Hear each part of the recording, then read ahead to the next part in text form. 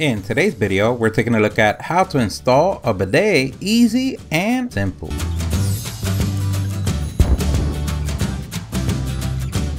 This is so easy, anyone could do it. Everything that we use on the video, we're gonna leave a link on the description. So one thing you learn from the pandemic is that toilet paper is very important. So saving toilet paper seems like the next step. Or maybe you just like water. Don't worry, here at the StatUpBox team, we're gonna help you get that water where it needs to go.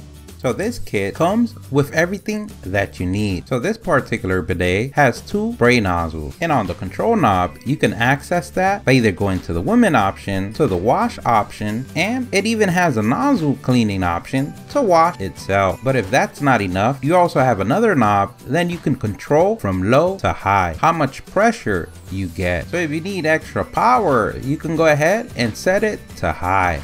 Inside the package, we have the owner's manual, or how we like to call it, barbecue paper. We have wrenches, we have Teflon tape, adjustment plate with gasket, we have the water hose, we have T-adapter, plastic and metal, and we have the bidet attachment itself. So as you can see, everything is included on the kit. And the great thing, this goes for under $50. Now we're ready to install. So let's get your owner's manual and get it out the way. But if you want, here's a little glimpse. Let's go ahead and lower the toilet seat so we can have access to the screws that hold down the seat in place. You'll notice some tabs at the back that you can raise using your finger or using a flathead screwdriver to do so. The screws that hold down your seat could be flathead or Phillips screw. We use the ancient rule of lefty loosey, righty tighty to loosen. In some cases, you would have to hold the nut on the other side of the screw so it won't turn as you loosen. We go ahead and do both sides, we remove the screw and hold on to the nut. We can remove the toilet seat and hopefully everything's clean. Now located to one of the sides of the toilet at the bottom, we follow the water hose and shut the water off. A pro tip is always good to have a towel laying down when working with connection. So this is the time where you get your family member, friend, or loved one towel and throw it on the ground. Now that the water's off, we can go ahead and loosen the hose from the toilet tank. Always remembering lefty loosey, righty tighty we choose the T-adapter that best suits our needs, either plastic or metal. In this case, we chose plastic. Because we have plastic connections, we're gonna stay with plastic. But the one you choose is your option. Remember, you are the king, queen, both or none of your castle. Just don't let Watson know. Before connecting, we wanna verify that the gasket is inside of the T-adapter. Once we finish tightening, we wanna remember to have the side connector facing forward. Now we're ready to place our hose back.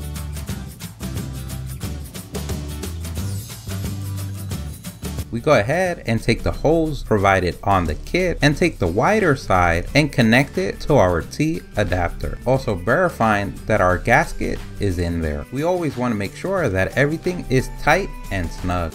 On the kit, you also have Teflon tape that you can use to add to the connection we can take our bidet attachment and on the back side, we're gonna connect the hose that comes from the T adapter to the bidet attachment. Always remembering that we have the gasket before placing it in. You can use the provided wrenches to tighten or you can even use pliers. Remember, because everything's plastic, you don't want to go too tight because you have to take in account your strength. We all know what your hands can do we go ahead and place the attachment on the toilet, then place our circular adjustment plate with the rubber gasket already pre-installed and align the holes on the plate with the holes on the toilet.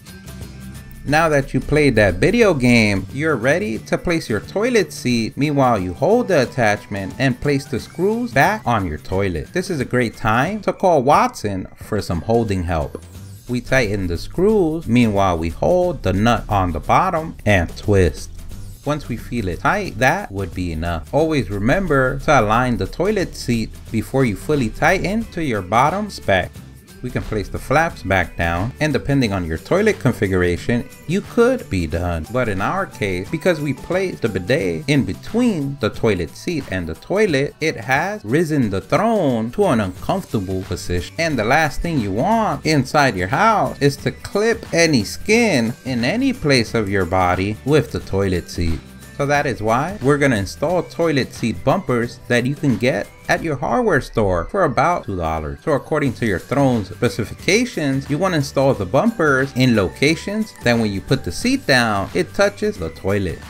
Now that we saved lives, we're ready to test this bad boy, girl, both, or none, and see what it's capable of. If we take the bottom knob and place it to the right, we have the nozzle cleaning option. To the left side, we have the women's option, and in the middle, we have the regular wash. So the difference between the wash and the women's option is that it's gonna throw the water from one of the two nozzles, and it's gonna land in a different location. So either woman, man, both, or none, you have an option for the spray to land in different targets. And on the top knob, we have the pressure dial. It goes from low to high.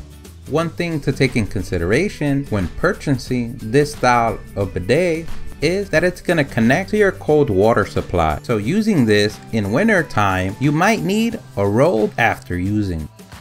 We want to go ahead and turn the water back on and confirm that there's no leak. But if you ever wanted a pool inside your bathroom, this is the time to do it we have a flap that covers both nozzles to access for cleaning. So if we place it on wash right on the middle, it's gonna spray from the left side looking forward. Always remember to have the flap closed when using, unless you wanna spray Watson with toilet water.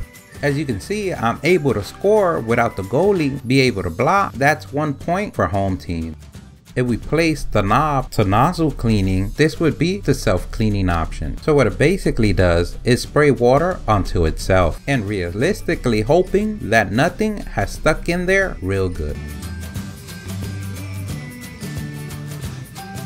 If we place it to the other side, we place it on the woman option. And you'll see that the right nozzle would spray. And compared to the left one, it does spray to a different location. And now you can pat yourself on the back for a job well done. You become Aquaman. Don't forget, if you liked the video, please give us a thumbs up, that really helps. If you have any questions, place them in the comment section below. Either someone in the StatUpBox team or someone in the YouTube community can help you out with an answer. Don't forget to subscribe, follow us on social media. Thank you for watching, and here's a link to our latest video.